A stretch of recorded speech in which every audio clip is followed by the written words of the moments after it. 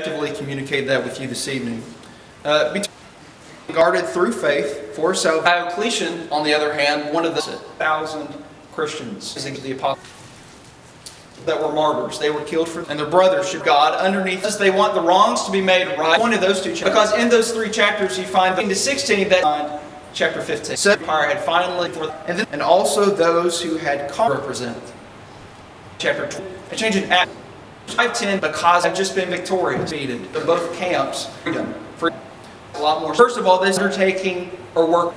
Uh, we're very familiar with Second King James Version says, uh, salvation. So extremely present God's work, the work to eternal.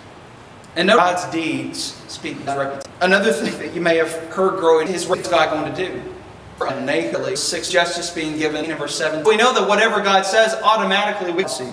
Psalm 119 and verse God of truth. True and faith, He is the God. Great to think of whenever you think of justice or a king or, or that justice. Or the I am. Uh, Philippians chapter 2 about these and God's revelation.